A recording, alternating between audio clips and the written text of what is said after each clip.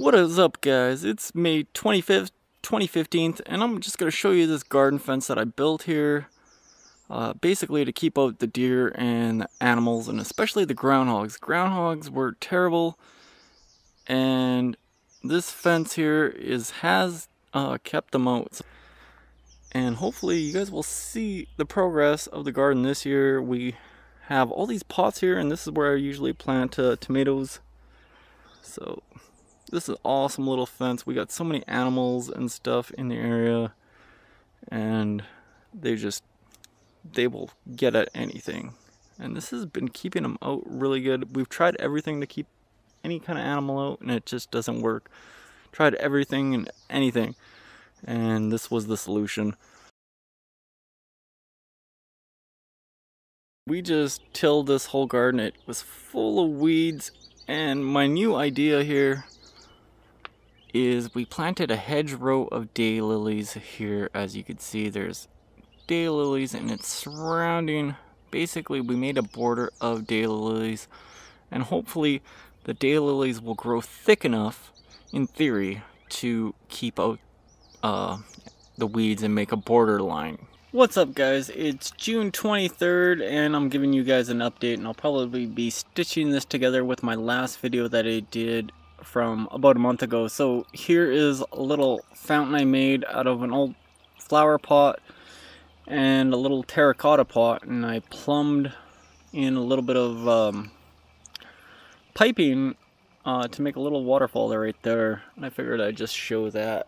And over here by the rock we have some lady slippers blooming. We got like yellow and pink and some hostas and some other stuff coming into play right there.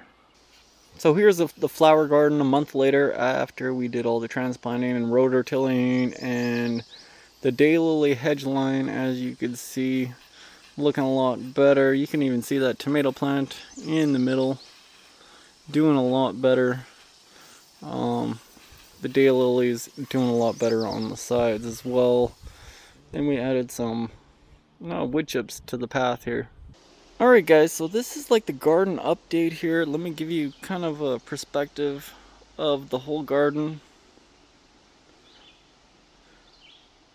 Alright, so last time you guys seen this, this was in May roughly, and and in May nothing was really planted except for the broccoli in the centers. Right now the broccolis have some pretty decent heads uh, everything was planted roughly about, I don't know, late May.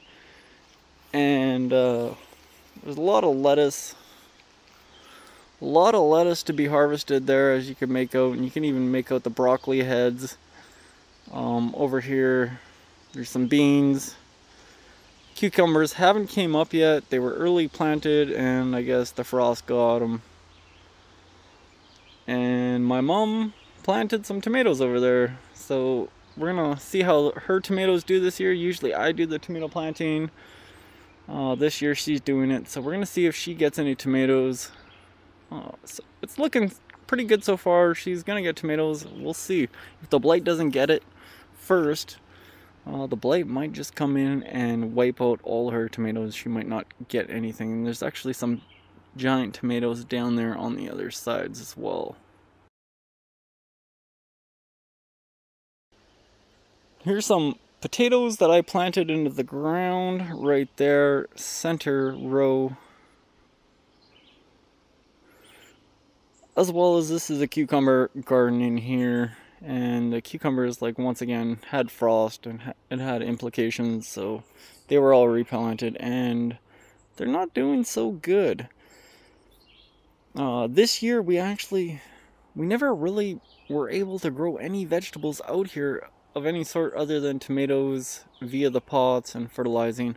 Uh, but this year, I we got some grass fertilizer, and grass fertilizer goes a long way because it's high in nitrogen and it's giving the plants um, a lot of nutrients.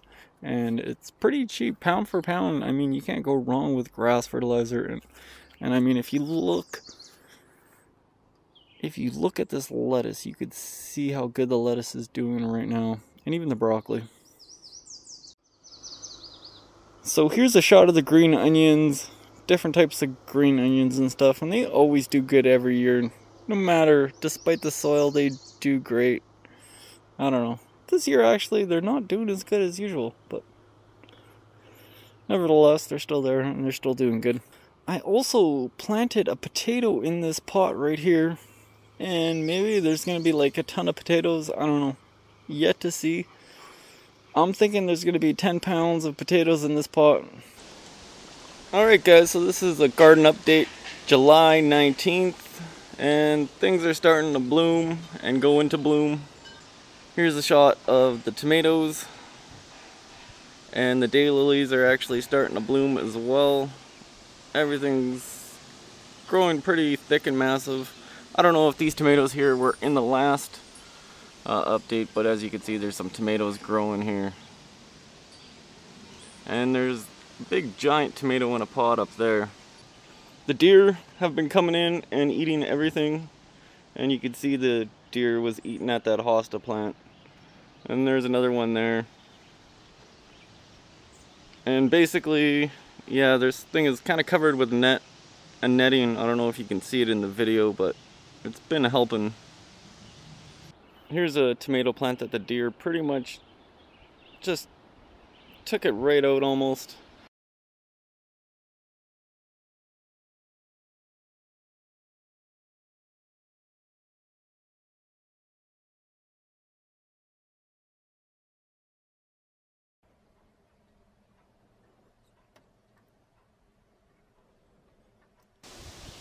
So here's a shot of the big garden and the tomatoes are about five, over five feet tall with the pot, so I guess over four feet tall. Uh, there is some tomatoes on some of these, but uh, if you can make that out there, not as much blooms as you would expect yet, so it's just a little bit too early still. Cucumbers, on the far left, beans in the middle. Uh, there's romaine in the center there. Broccoli going into seed. Uh, the radishes right up front here. We never did pick them, never did get to harvest them. And now they are going into seed as well. I don't know if you can make it out, but there's seed pods on those radishes. And quite a bit of dill and beets. Let's see if I can get in there and show you guys a better shot. Here's an up close shot of some of the tomatoes on some of the plants here. Uh, yeah, it's like a jungle in here.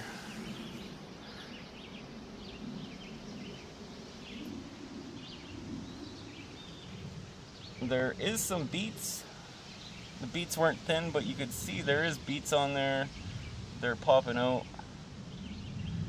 Some more beets over here. And some over there. And it looks like they are bulbing, so the beets are working. Cucumbers blooming. No cucumbers yet, but they're blooming. Uh, there was a lot of lettuce here, there still is. We've been eating lots and lots of lettuce.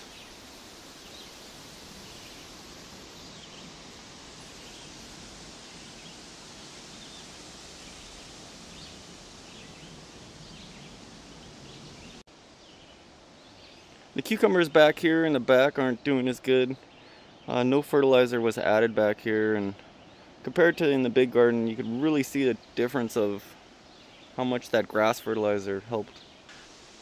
Okay guys, so these are like um, giant blue barrels that these uh, tomatoes are in. And these tomatoes are over six feet tall. Uh, they're all blooming. There's some tomatoes on some of them yet. Uh, you can make them out. But they're just massive plants. And I have my potato plant over here which is growing pretty big as well and it's flowering as well so I'm curious to see how much potatoes are going to come out of that pot. What's up guys it's August 8th and here's an update of the yard. Uh, the daylilies are all blooming. Tomatoes are in full bloom and none of them are really ripe yet, but this will probably be the last update video. Uh, you can see blight right there in the center with the yellow leaves. Basically been ripping these plants right down. There's pretty much no leaves left on this one. Uh, some tomatoes on there might develop a little further.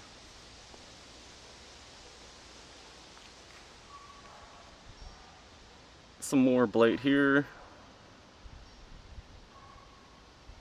And some more green tomatoes. So I put these corns here in these small little pots and they're actually doing pretty well. Um, you can see there's two stalks of corn on here somewhere. You can make that out. Just goes to show that a small little pot, uh, you don't need a big pot for them. As long as they're on the ground and they got holes in the pot, they'll find their way. Here's a little baby tomato that the deer ate and just kind of left it. And here's a shot of the cucumbers growing through the fence of the main garden here. They're climbing up and the deers have been coming and picking up through uh, the fence. Let's see if I could find a shot of a cucumber growing here. Uh, there's a, baby right there. Uh, but yeah, it's full of cucumbers. A lot of blooms. Okay, so these tomatoes are probably like five feet tall and you can see this one, the blight, just ripped this plant apart, but you can see all the tomatoes exposed. Uh, so pretty big tomatoes, a lot of foliage. The blight will have to eat quite a bit to finish these plants off. So here's the other cucumber garden, and it's, you can see the cucumbers are doing the same thing. They're growing right through this. And there's a lot of cucumbers in here too. Some more tomatoes. And these tomatoes are probably about four feet tall. Well, five feet, almost six feet in the pots. Uh, and here's some tomatoes in these. You could see they're just tomatoes everywhere on the bottoms. I think they're about four and a half inch tomatoes maybe, maybe five inch. They're pretty big. And here's a shot of the inside of what's left. Cucumbers. We had lettuce. Some lettuce is sitting there still. Maybe it'll go to seed, maybe it won't. Uh, this is broccoli that is going into seed. I'm not quite sure if it's going to go into seed. All the beets that are left that weren't big enough to be picked, we're just leaving them in there. And maybe they'll continue to grow and here's another shot of the garden. This fence is about four and a half, maybe almost five feet tall. And some of those tomatoes are over six feet in the pots. And yeah, a lot of cukes left. Tomatoes are still growing. A lot of tomatoes. Blight is taking them all over, but we'll probably have to pick them all before uh, the plants actually die. They probably won't be able to vine ripen.